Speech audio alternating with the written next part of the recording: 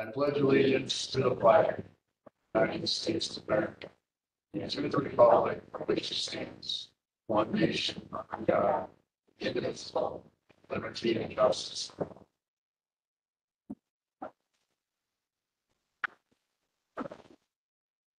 We have. Oh, So we have a, hear me okay? I feel like this is quiet. It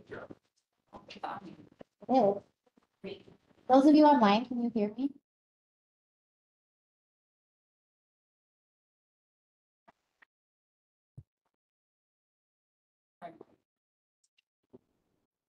How about now? Yeah, that's better. Okay. All right, we have a seventeen point agenda. Can I have a motion for approval? Right, and second by Mr. Gottschall. We also need a motion to approve previous meeting minutes. Did anyone notice any corrections or anything? Okay. Thank you. Supervisor Renish, do I have a second? Oh, and I didn't say vote for the agenda. So going back to the previous one, let's vote on the agenda. All those in favor of approving the agenda, please say aye. Any opposed? Okay, and then approving of the previous minutes, all of those in favor, please say aye. I thought we had a second, Mr. Yeah. Yeah. All right, any opposed? Okay, sorry, I think we're back on track here. Number six, public comment. Is there anyone from the public who would wish to speak?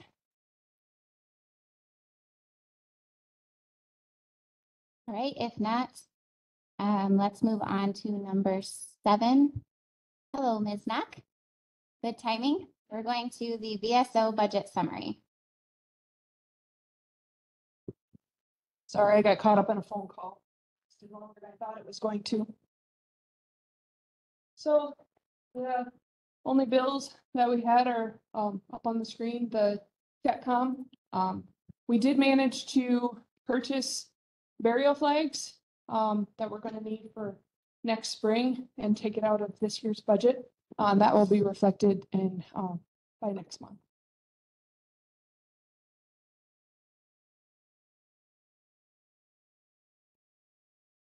Great, any questions for Ms. Knock? If not, do you have any admin report today? Um, everything's been going really well in the office. Um, we have, as of yesterday at four o'clock, we completed stage four of our office review of all the files. We've officially made it through Richland Center Cemetery and got through every single veteran because just that cemetery alone had a thousand veterans. So that was, um, that was a very big deal. So now that we've completed them, um, the next is to, we're going to be scanning documents from our files into the state database and uploading all the documents, death certificates, um, birth certificates if we have them, if they're applicable, and DD two fourteens into the state database. So we'll be starting that um, on Monday. And then I'm going to be taking a week's vacation, October twenty-third, just so you know that the office will be closed for a couple of those days. And um, no, besides making our big purchase for burial flags, that was a big deal. I was very happy that we got to do that. We've never been able to purchase in one big bulk before, so. Um, so besides that, I, I don't have anything else. Thank you. Any questions? All right, that takes us to our consent items, numbers nine, 10, and eleven. Um, did anyone have any questions or staff that wanted to make any comments?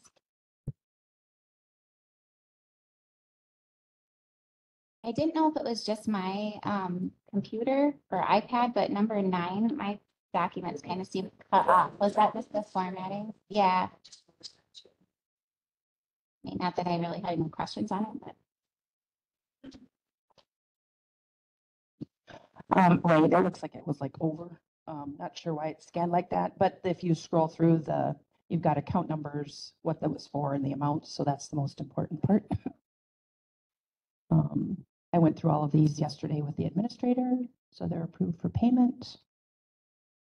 Anybody any questions about any of them? I did have a question on the child placements, this is just out of curiosity. So on the second page of the one that has the placements with the mm-hmm. color blocks. Yes. So I mm-hmm. know that the individual blocks are individual patients, mm-hmm. but like in July and August, even though the number of individuals didn't change, it looked like there's more. I don't know if I'm just not, I was just curious about that. It's down on the children's one, On the children's one. the child foster care. and I know, I think this has been explained to me before and I'm just forgetful. So yes, each color is an individual child. Why does it look like more? But it could be that there were still some in, but then others went out. You know what I mean? I know we had one that's no longer in foster care mid-July-ish, so it could be that that one came out, but another one got added or something. I'd have to look at the actual details of the, and if Jessica was here, she probably could explain it better. Um, the only other thing on the placement report to highlight, um, not that, it- if somebody noticed it, if you go up to, um, Fund fifty-four adults, um, in August, um, it shows hundred and forty-three thousand dollars in revenue. Um, we had, uh, we had a, uh, somebody in a placement a few years ago that owed, um, a couple hundred thousand dollars and they paid half of it. So, so we got about a hundred and, it was like hundred and nineteen thousand. So that's why that's such a strange amount. So that's not normal. Don't expect that every month. I know, we're not going to complain, but in case you caught that, so.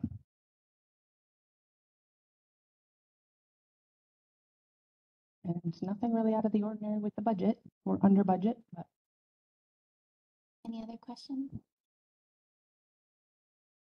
Okay, that takes us to our big long list of approving HHS contracts, agreements, and amendments. Looks like we have a few for twenty twenty-three, and then the rest will be for twenty twenty-four.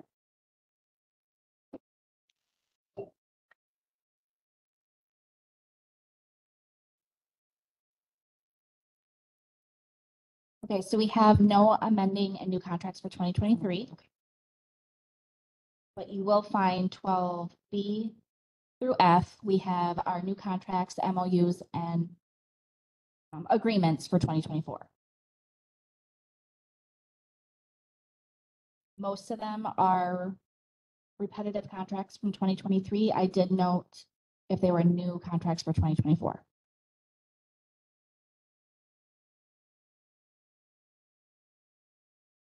On twelve B, I noticed like overall our revenue went down just a hair, and I assumed, is that mostly from ARPA? It looked like it was mostly from the fact that there won't be ARPA funding this coming year. Some of that.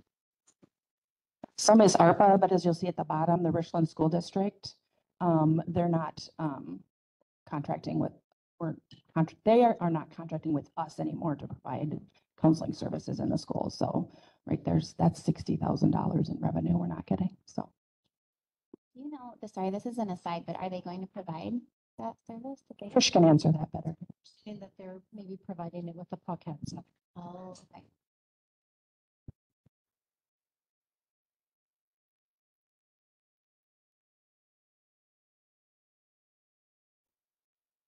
Will we need to approve each of these individually? Or is it just review? The revenue contracts? That's what I meant, like each document. Okay. All right. So twelve B, okay, so before we approve that, does anybody have questions? We're looking at twelve B, which is the twenty twenty-four revenue contracts. Has the totals of our revenue from last year and then now this year at the bottom.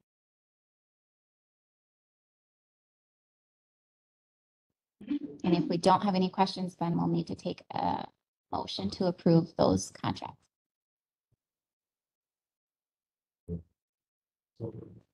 Thank you. Supervisor Gottschall, second by Supervisor Renish. Any further discussion? Are you struggling to find it, Mr. Kerr? I am struggling to get into an internet. Second. Thank you. ARPA funds, twenty twenty-four, the last year for the ARPA funds. Yes. And it's decreased, correct? Or is it still similar amounts? Um, they've been, we've gotten a lump sum and as we use them, they do decrease. Oh, I see what you're saying. Okay.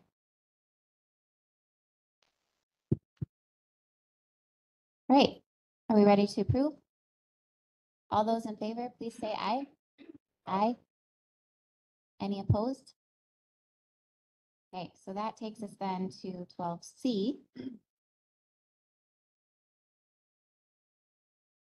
Which is the twenty twenty-four HHS contracts that are greater than fifty thousand. Any comments on those? I noticed we had a few that went up, I assume just because we're going to be utilizing them more. Or the trend for twenty twenty-three was that it did go up, so we want to make sure that we have the right amount in there for twenty twenty-four. So to clarify, the twenty twenty-three contract, is that then just our initial contract, or does that include the amended amount? That includes the amended amount. Inclusive, okay.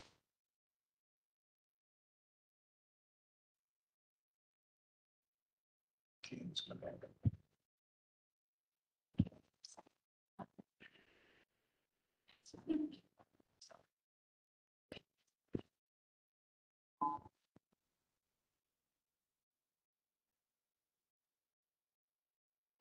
A question. Um, thank you for putting on there what is not county levy and what is partially. But could we, on the partialies, put the percentage, you know, in the future? So that if I know it's fifty percent funded by the state or ten percent or eighty or, Sure. But we can try and figure it out. Give or, give or take a couple of percentages. well, no, I- just something close. Yeah, I'm glad to see it just having the word Mhm. partially there, but then that just strikes more curiosity in me. So you, you started out good and we'll just keep going.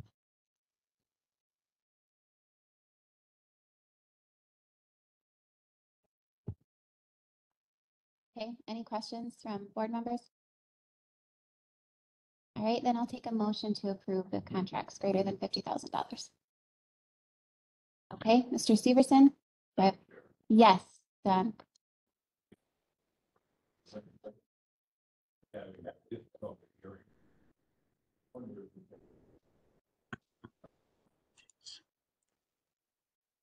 People, uh, Putting in. money. Have an obligation to make sure everyone can hear. Okay, we'll try to speak closer. Is that better?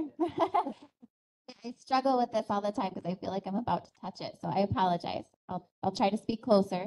Um, how about those of you online? Can anyone verify, have you been able to hear?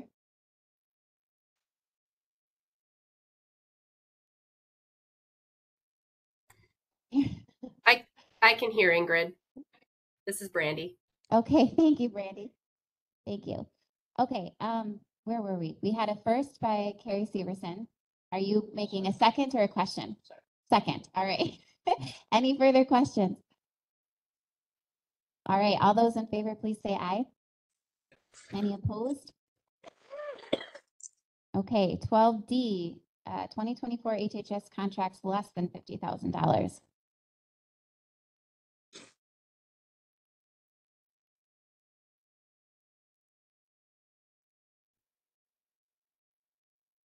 Any questions?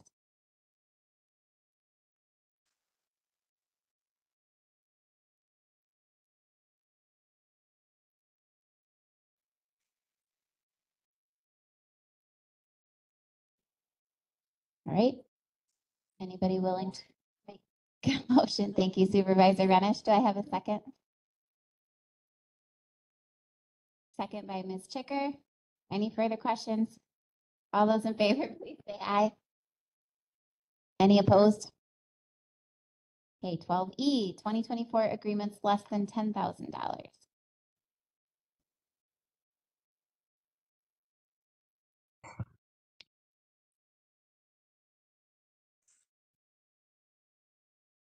You can take a minute to review, but whenever you're ready, we'll take a motion. It's a pretty short one. This one's just a one page. Thank you, Mr. Gottschall. Great, all those in favor, please say aye. Any opposed? Okay, and twelve F, twenty twenty-four MOUs.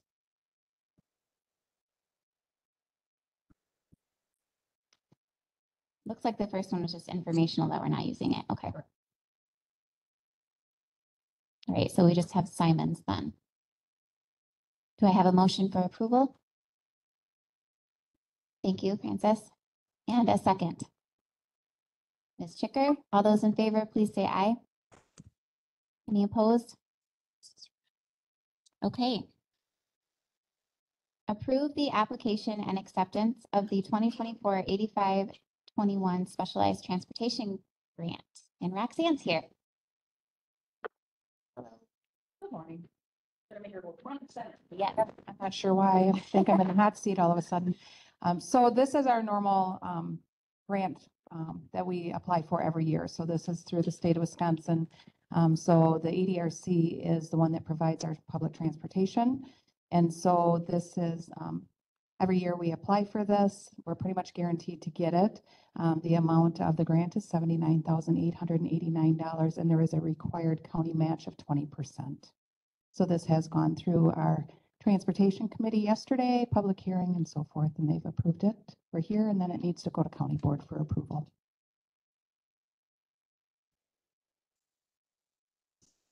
Do I have a second? I heard Carrie Severson. Um, is this the same amount that it is every year? or Does, has it changed at all? It has not changed in years. Yeah, it's the same amount. And because of the size of our county, it's the least amount the DOT actually gives out. So we do get the least amount in the state with the other counties of comparable size. Yeah. Thank you. Yes, So, stayed the same. Have the expenditures also stayed the same, or have they gone up?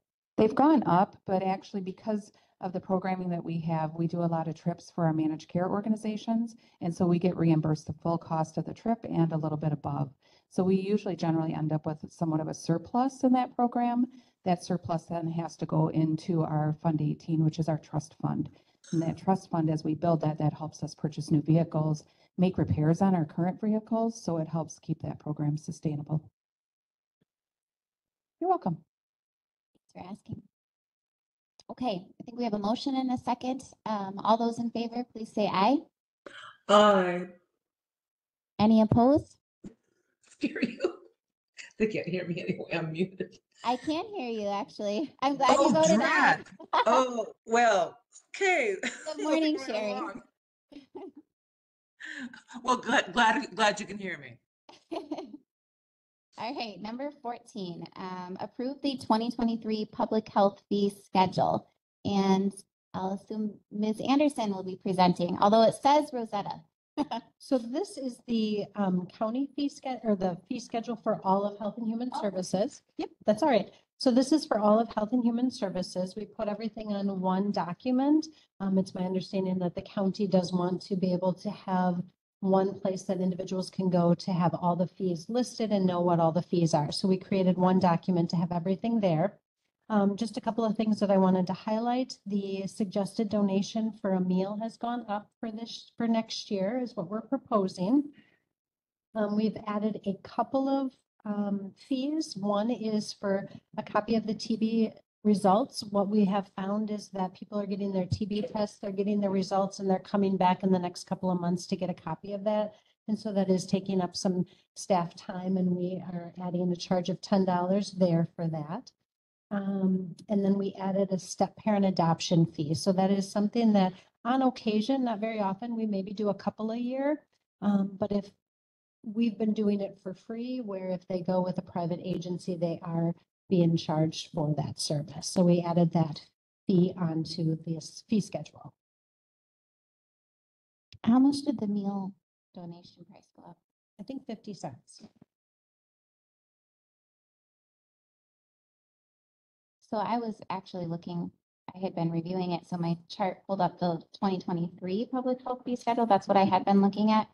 So I was curious, did the cost for flu vaccine go up a little bit too, it looked like? It did, yeah, so we did increase that. Last year it was um, forty for the regular dose and sixty-five for the high dose. And this year we do have that as forty-five and sixty, and the sixty-five stayed the same, but the regular dose did go up five dollars. Um, I saw, oh, I think it was in your director report, so this may not be the right place, but I saw that you were mentioning that we can give COVID vaccines to those who are eligible for it. Is there a fee for those vaccines? I believe there's not, and correct me if I'm wrong, Brandy, but for children, there definitely isn't because we have the vaccines for children. And I believe if the other ones there wouldn't be, but let me know, Brandy, if I'm wrong. Yes, um, there, the COVID vaccine that we will be providing, we will be of no cost to the to the uh, people that can receive that. We can only provide the COVID vaccines now due to the uh, program rule changes to underinsured and underinsured, underinsured and uninsured persons. So that is now different. And did you guys just find out about that? I'm just curious because um, we were just talking at the free clinic about like where people could get COVID vaccines. So I guess I'm wondering when that will start. So yes, Ingrid, um, you know, with with a lot of the changes in my public health unit and and things, you know, onboarding new staff and such, um, that was recent news to me as well. Um, I do think they had been they had been talking about a lot of these changes that were forthcoming um, for a few months, and it had been anticipated, um, but I I wasn't familiar with um, with how exactly that was going to roll out. To be quite honest, I do also understand there's what's called a bridge access program where we could, until I believe the end of 2024, provide COVID shots to uninsured and underinsured adults. However, I I've been told that I have to um, ask people that do have insurance or have coverage to seek those out at the clinics or pharmacies.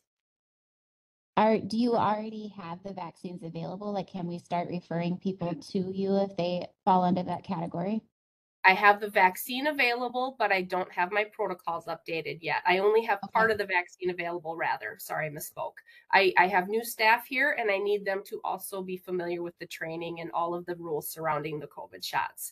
It's a much, um, we, we need to be more careful with that vaccine. I'll leave it at that. Okay, thank you for the info. Uh, Mr. Steve, Madam Chair.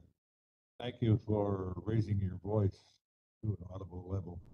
Um, I have a question about the vaccines. You mentioned that the vaccines are available for underinsured, uninsured and underinsured folks.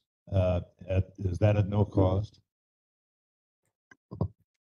Yes, Yeah. those would be at no cost. And secondly, uh, is the vaccine available to others for a fee? The COVID vaccine is not available to others for a fee at our office. Um, we will be encouraging people to connect with their primary care physician to get the COVID vaccine through their doctor. I understand that there are some pharmacies that are providing it. yes, you can go to a pharmacy and ask for it. Do you know which pharmacies are providing it? I believe the prescription center in the hospital is, um, I'm not sure about Walmart. I would assume any Walgreens. I believe Center Pharmacy and Basketball Pharmacy might be offering that. And is that being offered at no cost? No, but it will be less, I believe, than if you go to the clinic. Do you uh, have a, a ballpark figure on what it's going to cost people? I don't, sorry. Probably, I, I- I don't know. I'm not even gonna guess. My wife and I had our shots two weeks ago. We got them at the hospital and with social security and the other insurances, it's free. So If you've got social security and then supplementary, uh, it's no problem. We scheduled that and the flu vaccine at the same time. Thank you. Uh, I appreciate that comment. Uh, I'm not asking for myself. I, I'm eligible for vaccines at, at no cost to the VA, but I am asking for others, and uh, it is uh, for some people a disincentive if they don't have the funds to pay. So uh, Thank you, uh, for your report. All right, thank you. Um, we need to make, approve this, correct? And I don't think we have a motion yet. So do I have a motion to approve this fee schedule? Mr. Severson and a second, Mr. Van Landwit. All right, any further discussion? All those in favor, please say aye. Any opposed? Okay, number fifteen, our director's report. So I did have in your packet the unit updates, but I just wanted to highlight a couple of things. Um, in our children and youth services, we do have two open positions, so we're advertising for those right now. With our economic support, um, just really want to stress that it is a pretty stressful time for them. They're very busy with the increased number of calls. They're very busy with protocols that were in place prior to COVID, and the majority of our staff were hired after COVID happened. Um, and so they're relearning a lot of new policies, procedures. Um, and it's just been a pretty stressful time. So we're tr- really trying to be mindful of the high number of calls that they're receiving. We want to make sure they're not getting burnt out. Um, and so that's just really wanted to just bring that to your attention. Um, in our behavioral health unit, we are exploring new therapy group options for the community starting in next year. And then in public health, we have hired um, two public health specialists. So Brandy has a staff of three now, which we're very excited about. She went from a unit of one to a unit of three. Um, they both started on Monday and so far things have been going well. Um, and then the last thing is I just wanted to really talk about the budget process that we went through for this year. Um, it went very smooth. Um, we were able to get things prepared and then Stephanie and I sat down and had a meeting with John and Candace and Derek and really got to take a deep dive into our budget. And so we do appreciate the process that we went through this year and felt that it was a smooth process. Right, thank you. Any questions from anyone or comments? Okay, um, future agenda items. Is there anybody who would like to see something on next agenda?